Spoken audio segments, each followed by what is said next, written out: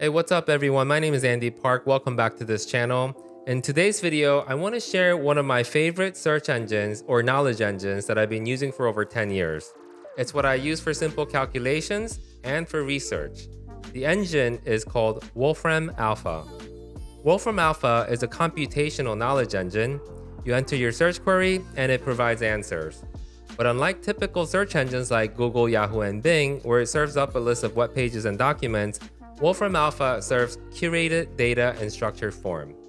Its search scope is limited largely to computational facts, but because of that, the results you get is nicely structured and organized.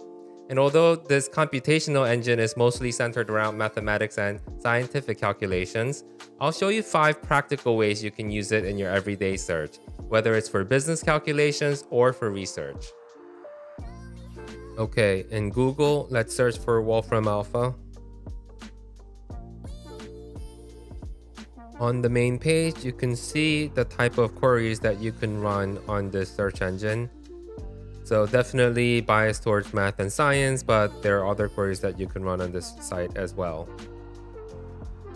Let's start with a simple date and time calculation. You can of course click on one of these cards and see some of the examples of queries that you can run. Or you can go directly to the query box and type in your search. As a project manager, I'm often concerned with project due dates and how many working days are remaining. So we can use this search engine to calculate, for example, how many days from today until October 1st, 2021. Okay, it's telling us that it's assuming that we're using month, day, and year. And it shows the input interpretation that Wolfram Alpha is making. Which all looks correct. So the result is 194 days from today until October 1st. So far, there's nothing special about this. You can of course run the same query in Google and probably get the same result. Let's as a matter of fact try that.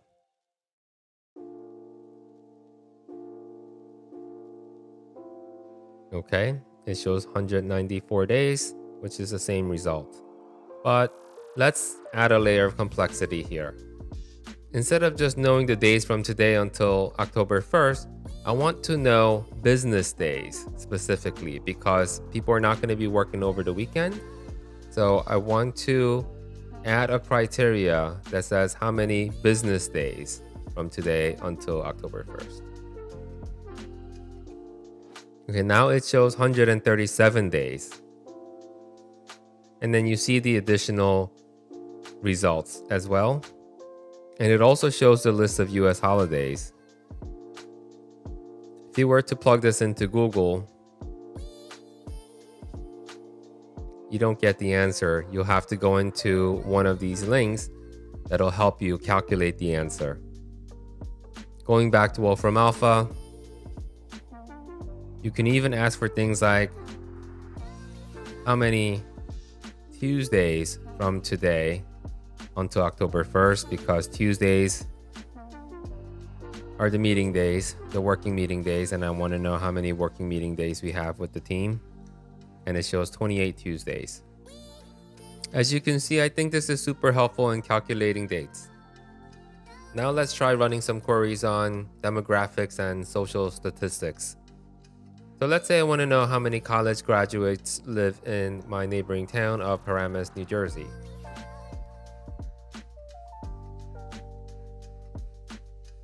Again, it shows the data input interpretation up top. Make sure that they're all correct. And then shows the results on the bottom. Okay, separated into male and female. As you can see, the data that it returns is really structured and organized. And if you opt for the pro version, it lets you download this data for further analysis. Uh, and if you don't want to opt for the pro version, I'm sure there's a way that you can work it into Excel by using um, get and transform. Maybe I'll make a separate video about that in the future. And if I wanted to get information on Paramus, New Jersey demographics, You can see the race composition. You can hit more to get additional breakdown. Again, Wolfram Alpha curates data from different external sources, so you can see the listing of those external sources here. Next, let's explore money and finance. We can look up performance of stocks and you can actually compare multiple companies in one query. So for example, if I were to type in we can enter a ticker symbol for Microsoft and I don't know the ticker symbol for Amazon. So I'm just going to type in Amazon. But again, in the input interpretation, it knows. So we have MSFT and AMZN. It shows us the latest trades, followed by all these other financial data. And for the project managers out there, we can calculate net present value and future value by plugging in a few variables. So for example, let's say we want to calculate the present value for something that has a future value of $1,200 with an interest, fixed interest of 4.5% and period of 10.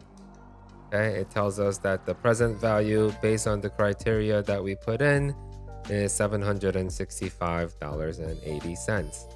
And you can of course work this the other way around by instead of future value, you can put PV for present value, put in your interest rate and the period, uh, and it'll calculate the future value off of that. We can also search for product information. So if you wanted to get information on Tesla's Model S. Gives you all the basic information what type of car this is, what the price range is, how many passengers, with additional details like fuel efficiency and physical dimension.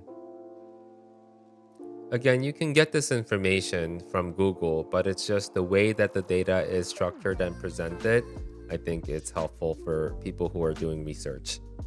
And this, of course, does uh, simple unit measures as well. So you can search for basic things like how many cups in a gallon. And again, the neat thing here is that it doesn't just tell you the answer for the specific question that we asked, but all these additional conversions as well.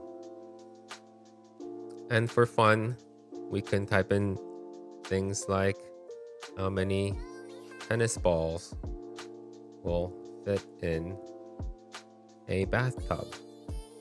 Okay, so approximately 1200 based on, I guess, the size of a bathtub. And it's making some assumptions here. Okay, so this really doesn't have any practical value other than it's kind of fun, but I'm sure you can find a more useful way to use this. There are so many other factual or computational search you can perform with Wolfram Alpha, including facts on history, persons of interest, among myriad of other topics. And unlike results from Wikipedia, which presents information in largely narrative form, Wolfram Alpha presents just the facts in structured, data-centric form. For your next research, I hope you can find some use for Wolfram Alpha, and if you already use this computational engine for your work and have any suggestions to share, please comment down below. Thanks for watching, like and subscribe if you enjoyed this video, and bye for now.